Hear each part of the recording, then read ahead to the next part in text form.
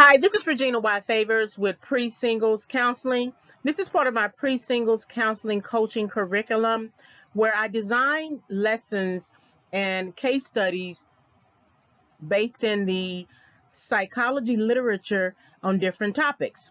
This pre-singles counseling is targeted to three types of individuals. The first individual is a single, is a person who is interested in becoming single. That, that means that person is not necessarily interested in dating or entering the marriage market. The second individual is a single individual who is interested in entering the dating market. And then the last individual is a single dating individual who is interested in marriage. So take some time to listen to this lesson and or case study. Please leave a comment uh, and I will reply. In addition, uh, please consider subscribing to the channel, hit the notification bell if you are interested in further topics. This is pre-singles counseling, a pre-singles counseling coaching curriculum. Thank you for visiting the channel. This lesson is subject to fair use where I will comment, criticize, um, offer research, as well as teach and provide scholarship. Single women should be knowledgeable about what it means to be single and how to navigate their singleness regardless of, a decision to date or marry. This means that single women should take the necessary time to learn about their singleness, set academic, professional, and personal goals, and contemplate whether they are ready to enter the dating market. Single women should never enter the dating market without a goal and a plan.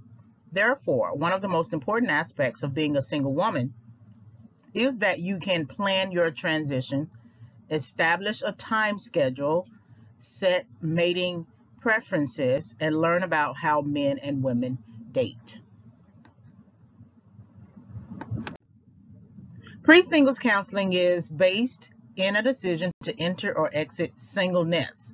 Pre-singles is the time period between single and contemplation of dating.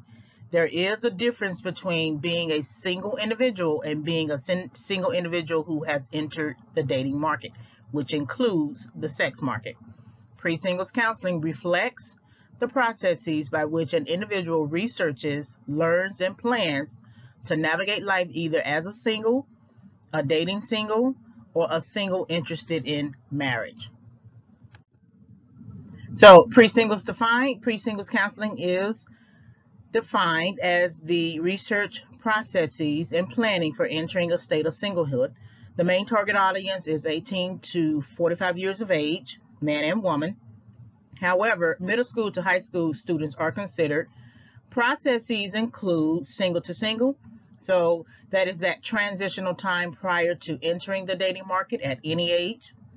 Single to dating single that transitional time prior to considering marriage, and then single dating to marriage, that transitional time prior to and after premarital counseling.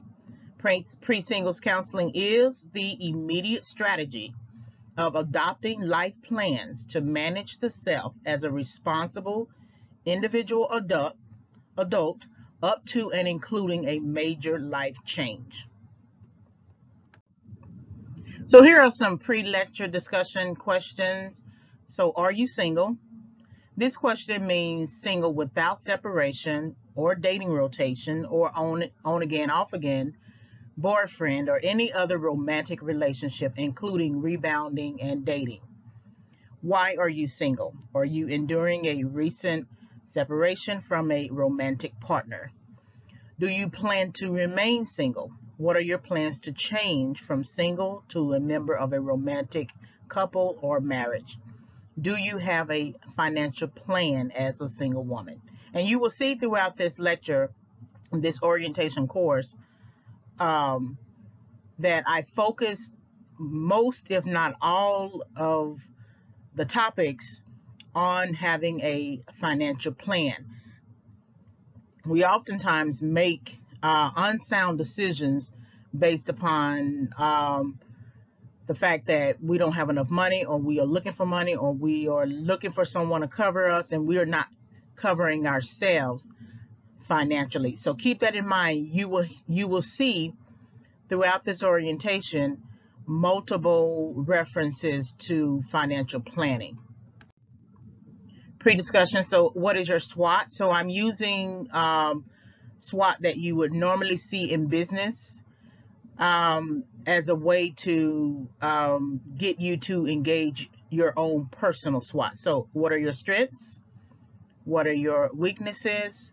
What are your opportunities? What are your threats? So after each section, I will ask you what your SWOT is. So five-year plan, preparing for transition. The five-year plan is necessary at any age, but beyond the two-year plan, this means that you can have a two-year to five-year plan. The five-year plan may involve career planning from supervisor to manager, from manager to director, from any position to upper management. The five-year plan may involve pursuing financial stability beyond the two-year plan. And then the five-year plan may involve investing more money into a retirement and or investment fund. It just depends. It depends on how much you're already paying out in expenses, right? But people don't get to to upper management just by osmosis. They don't get there hoping and wishing. They plan their way up. Um, they plan their way horizontally and they plan their their way um, vertically. The five-year plan is necessary as a self-reflection tool. So you can reflect on the past two years to determine gaps in your understanding, gaps in your pay, and gaps in your education. You can reflect on that last three years to determine if your plan is still feasible. You can reflect on the last five years to determine the point at which the plan has been effective. And you can reflect on the last five years to determine your financial cap capacity for moving forward. So you're always in a mode of thinking about that the, uh, you had your two-year plan and then now you have the five-year plan. But the five-year plan is more about self-reflection. You going back and looking at your progress, your process and your progress. And is that plan that you had during those three years between two and five, uh, is that plan feasible going forward after five years, right? What at what point um, is the plan effective? And then at what point the plan may not be effective you know considering maybe a job loss. So the plan that you were adopting to save six thousand dollars right for example okay and you were doing just fine and going very good and then you and then the company cut your hours. So that means your financial capacity has lessened in a sense, right? It's hard to move forward with uh, with the same goals you had with a new financial capacity. So now you're going to have to think about ways in which you're going to be able to still meet your save your emergency savings objective while you are enduring cut to your hours that might affect your shelter costs. So it depends on if you may have to wait out um, your um, investment plan and then seek out a new job, an additional job, or wait to, to the company increase your hours. So that's something that you have to reflect on.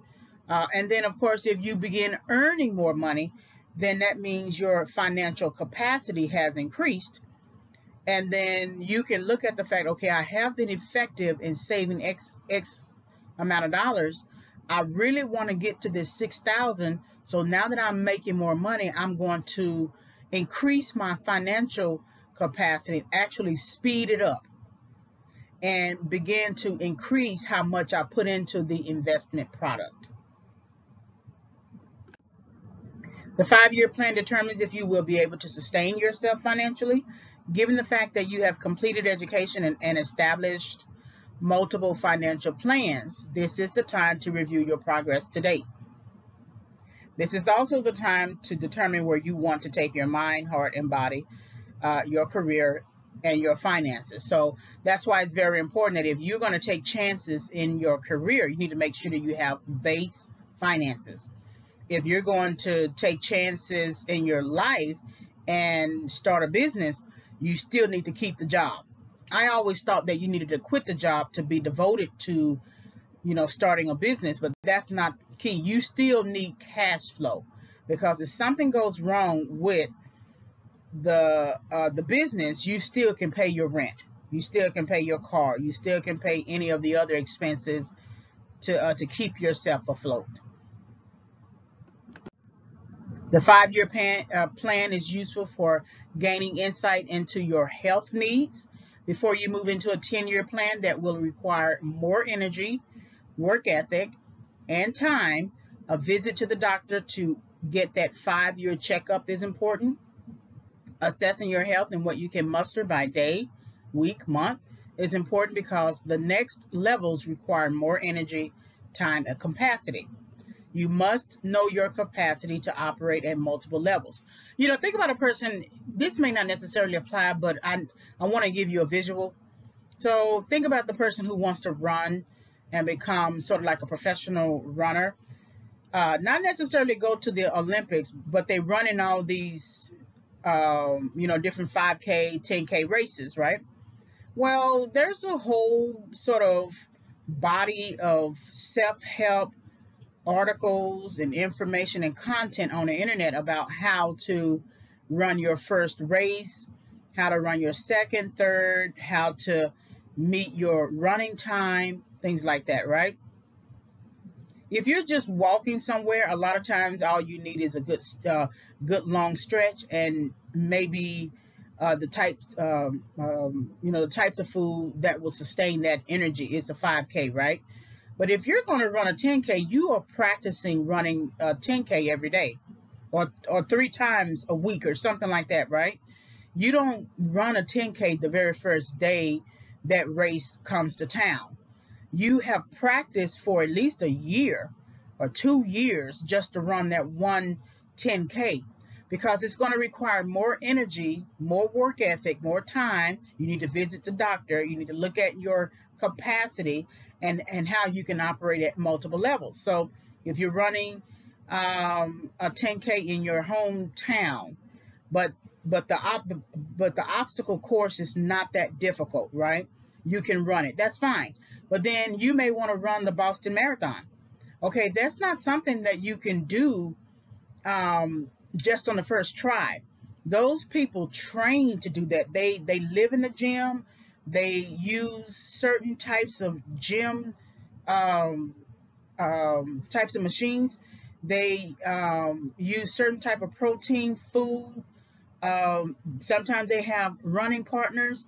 It's a whole lifestyle. It's work for them. They have jobs but they but they take the time to build up capacity for multiple levels right and some of them go internationally uh, so it's a whole big big big thing and then we're not even you know talking about those big monster triathlon type um, type of things um, you know type um, activities. We're not even talking about that because that takes even more. You're basically running every day. You are building your body and your capacity and pushing your body to the limits just to run a race, uh, a few races a year or something like that. Well, it's no different than anything that you're trying to do. If you're trying to get into a business, you need to know your capacity. Your capacity is going to be measured by your knowledge. Do you know accounting? Do you know tax laws? Do you know contracts? Do you know your industry, the specific tailoring to your client needs in that particular industry? That's why you need to do a health checkup because some things, some some things you get into can kill you if you're not ready for it mentally, uh, physically. Uh, you need a heart checkup. You need uh, check your breathing, you know, uh, check your ability to uh, to walk, right? So knowing your capacity to operate at multiple levels should be something that, that you begin checking at your five-year plan. The five-year plan is useful for addressing any anxiety or doubt about who you are as a person, what you want to do, and what you want and can accomplish. Successes are intoxicating, but they also reveal anxiety about replicating success at the next level. Just because you accomplish a success does not necessarily translate as your capacity to resolve a single defining problem and achieve a solution that is universally uh, acceptable. There is a difference between success and achievement. So we we oftentimes measure whatever we're doing now by the by the successes in the past because we were able to accomplish something. We think that that automatically translates into the new thing that we're doing. But each success has its own woes, has its own challenges, has its own influence, has its own threats. And so you can't treat one success over here like it is going to be a success over over, you know, somewhere else, right? That means you got to think about the anxiety that you might feel. Can you keep this up? You know, going into the entertainment industry or going into the filmmaking industry, becoming an actor, actress, right? That's I think that's a very um, mind-wrecking choice because you may do great on one film, but can you replicate your ability for the next film? Because if you don't, you're like a one-hit wonder, right? And so um, studios and book publishers and any other types of related organizations, they need to be able to make money off of you consistently. That's why you have publishers who ask you, okay, when will you have your next book? And any book that you have needs to be translatable into uh, some film or online web series or or um, anything anything like that. It, it, has to be it has to be convertible in a sense, right? Um, that we can get not only you know books out of you, but we can turn them into an HBO uh, series or a Hulu series or a Netflix original or something like that because they need to be able to get money. Can you do that? That's something you can't look at your one book and say, okay, that's enough. No. If you want to uh, be a screenwriter, if you want to write films, okay, and you get a, a, a production company who's interested in your work, they're going to consistently ask you, so how many other scripts have you written? You know, I want I I remember something that Spike Lee said in an interview that some people, these people today, they think that the one script is the only thing they need, but uh, organizations, studios, production companies are looking for more than you should have more scripts because you need a portfolio.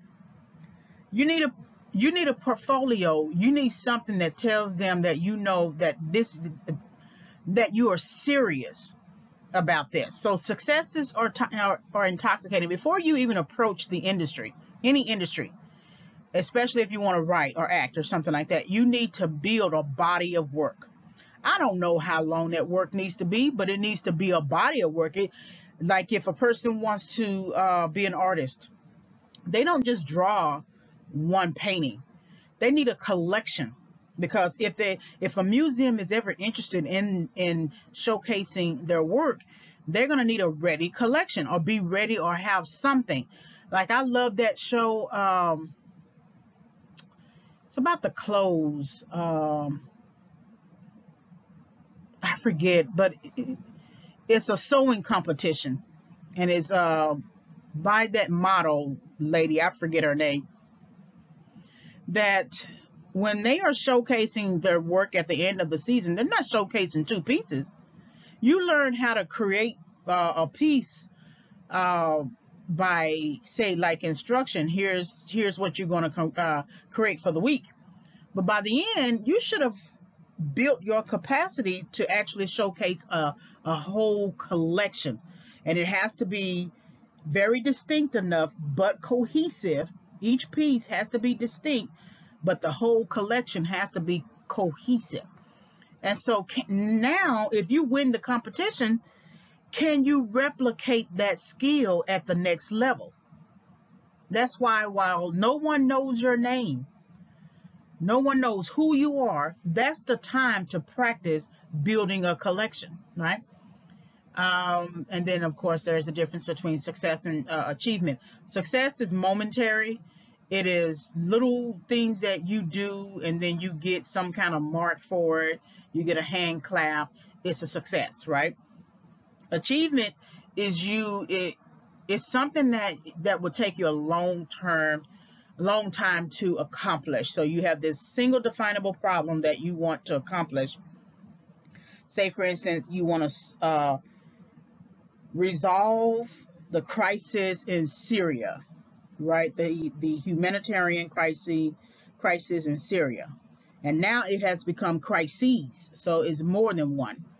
Well, that's not something that's going to be resolved in a year, not even 5 years. That's going to take 10, 15, 20, almost our lifetime to resolve. Your part might be 10, 15, 20, 25 years and then you solve a part of that crisis and that's achievement so success is something that you can accomplish. If you take a course you endure the course you complete the course and you get a grade. That's success. But if if um, uh, if your field requires you to take multiple degrees like becoming a doctor um, that may have a form of achievement in it uh, but once you get into your specialty, the achievement is the problem that you solve uh, that takes a long time to solve. The five-year plan must include research before transitioning to the next level. This requires assessing where you are in your career, researching where you want to go with your career, and planning the process based on the expectations of the career slash industry. This requires assessing where you are in your finances, researching where you want to go with your finances, and planning the process based on the expectations of your financial capacity. This requires assessing where you are in your education, researching where you want to go with your education, and planning the process based on the expectations of your career plan. So they're all sort of intermingled. And financial cap, um, financial capacity is the thing that sort of links everything. It's hard to make the moves that you want to make if you don't have the financial capacity. It's hard to increase your knowledge by maybe getting another degree if you don't have the financial capacity.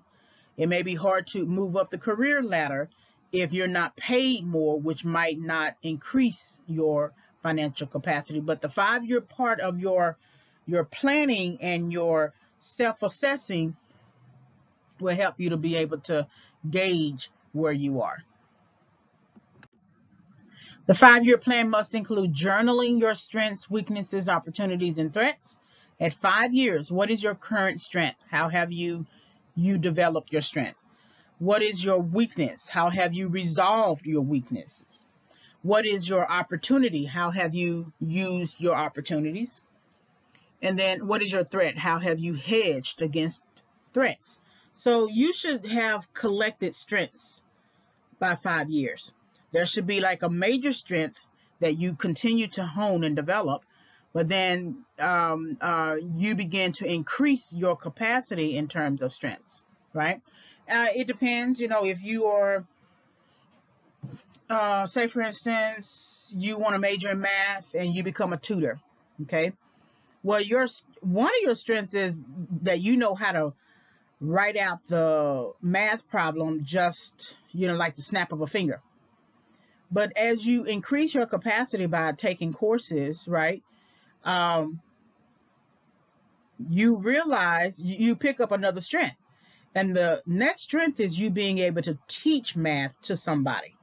Not necessarily as an official teacher, but you become a tutor or something like in a math lab and you have to deal with you know different students who uh, need help with understanding math. And so now you are picking up an additional strength to teach math to somebody. So now you have a collection of strengths right? And so just begin to continue to assess that. Your weakness so you realize your your weakness might have been uh, at planning. You're not good at scheduling or you don't go you don't get somewhere on time right? So then you talk to a counselor about it. You got some help. You read some books and you, you began to tackle one weakness at a time. And so you resolved one of your weaknesses about not getting to places on time by leaving early enough so that you can be there on time, right? Versus you getting to the car and the interview is at one o'clock and you arrived in the parking lot at one o'clock. Then your opportunity, you realize that that the people around you may be opportunities from you for you to glean from, right? Um, you have a sister or a friend who tends to be better at the thing that you are struggling with, or you had a professor that you asked a question and he sort of uh, gave you a good understanding about it. So you use that as an opportunity to increase your understanding, right? Uh, so opportunities, it just opportunities is really all about learning and adding to your knowledge base. That's what I feel. That there's always an opportunity to learn to uh, learn uh, in order to increase, in order to resolve any sort of issues that I have. Then your threat again is always you. So if you feel like you don't need to assess your strength or your weaknesses or your opportunities, then that's a threat because eventually you're going to have to do that as you move up the next levels. So let's look at each of the, um, um, let's look at the acronym. So um, five-year plan strength. The five-year plan must include journaling your strengths. So assessment of strengths might include reviewing and critically thinking about how well you do something. For example, if you are great at writing and you want to do something with your writing, then you should have a portfolio of writing. You never wait until you make it to begin writing. You should always write until your transition comes. A strength might be how well you communicate, plan. Continue to develop that skill. Weakness, so the five-year plan must include journaling your weaknesses. So assessment of weaknesses might include reviewing and critically thinking about your struggles. For example, where are you overextended financially? Being overextended financially will affect other areas in your life, both professionally and personally. Develop a plan to address overextension. And this is where we are usually over overextended in finances, and it likely is because you are giving your money to somebody who really doesn't need it, who keep who uh, who keeps saying he or she needs the money, but they won't go and uh, and get a job or something like that. So that might actually be a struggle for you. The five-year plan must include journaling your opportunities. So uh, assessment of opportunities might include reviewing your options. For example, what are your career or education or small business options? Understanding your options and the timeline with which to consider and implement them will affect all areas in your life, both professionally and personally. Develop a plan to address opportunities specifically when they are good or, or untimely. So um, one of those opportunities a lot of times comes at you when you have a friend who says, okay, let's go over here and let's go visit this organization because they're giving a free class.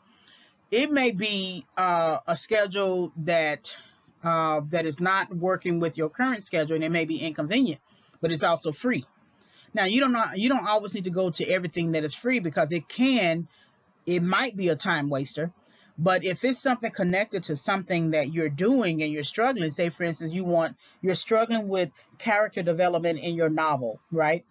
And the class just so happens to be a class on how to build better character in your novel. Okay, that's a class to go to. They may have free resources. They, uh, you get to talk to somebody there, gain some insight. That is an opportunity. Uh, so you have to weigh every opportunity to determine if it is a true opportunity or if it's just an option. You may be able to get that same opportunity on your college campus, at your job, or just by simply uh, researching on the internet as well. Threats. So the five-year plan must include journaling your threats. Assessment of threats might include contemplating your internal beliefs. For example, you are always your own worst enemy. Vacillating between decisions, attitudes, and beliefs will always affect every area of your life, both professionally and personally. Develop a plan to address your own beliefs about life, love, and the pursuit of happiness. And you know, that last one is very interesting because happiness means different things to different people. Happiness for some people might be sound finances that I feel happy when I have money. I don't have to have a million dollars, but I but I do need to have some kind of money. I don't want to I, I don't want to be broke. Right? Uh, but some people don't care too much. Some people actually want a lot of money. They want a million dollars because it gives them the type of freedom that they don't necessarily have to work on a job, but they can work when they want to work, right? Life and love, it depends, you know, what what does love mean to you? What does love mean to the other person? Have the conversation. I've always said in all of my audios that we don't have conversation anymore. We just jump to the sex. And then your beliefs about life, what are your core values? What's your what's your own personal mission statement? Um, that's important. Knowledge check. So five-year plan considering your academic, professional, and personal goals, especially in pursuit of financial stability. Answer the following.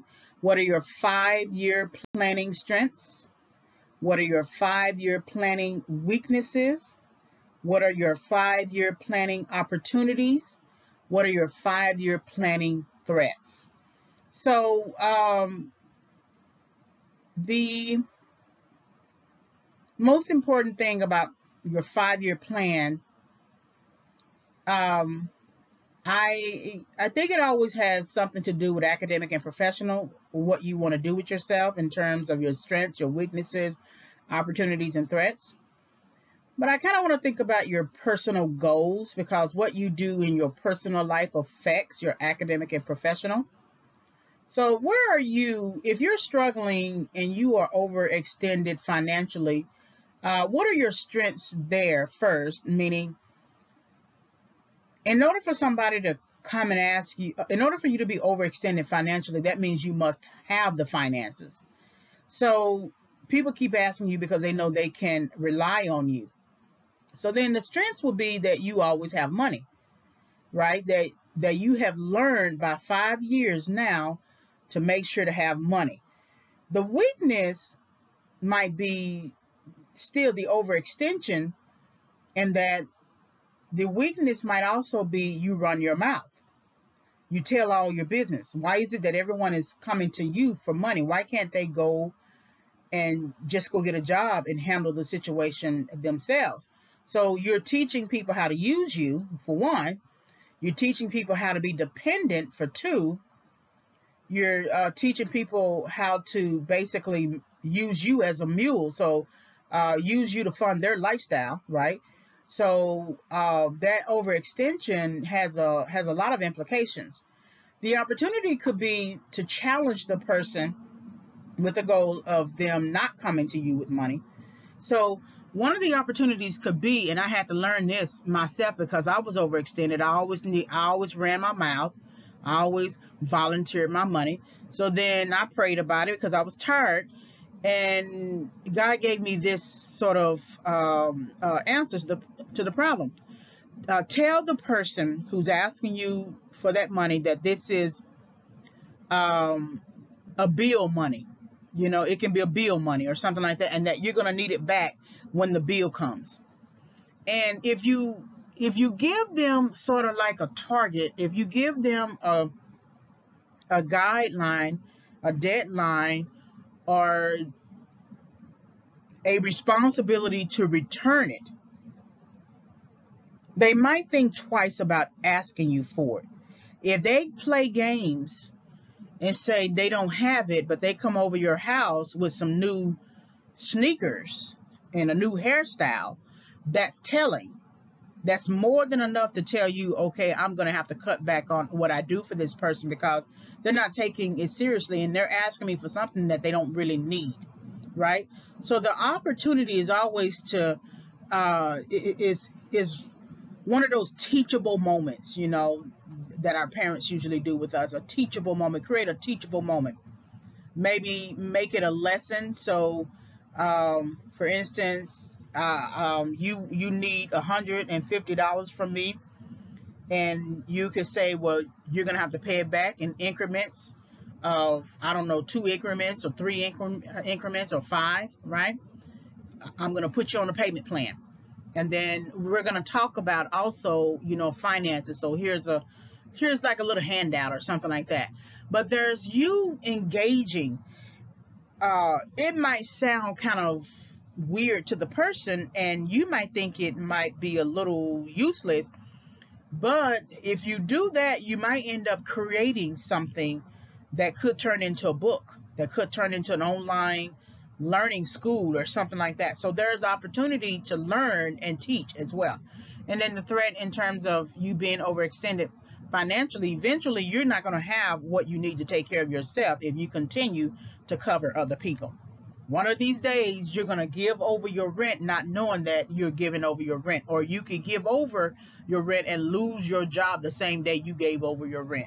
You know, so again, you are always your own threat. So, conclusions, beliefs about mistakes. So I don't have a full conclusion. I just I just thought that this right here, this quote from the film Unfaithful was very important. When I put this uh, presentation together, I thought about it. Uh, the movie had just come on HBO, so it was very fresh in my mind. Uh, but this is the the conversation that Paul Vartan is having with Connie Sumner and Unfaithful. Uh, Richard Gere was her husband. And um, she was talking about mistakes or something like that. And Paul Vartan made a very interesting statement that I did not catch all the times I have watched this film. I did not catch it until now. And it could be because it was for me to catch it now.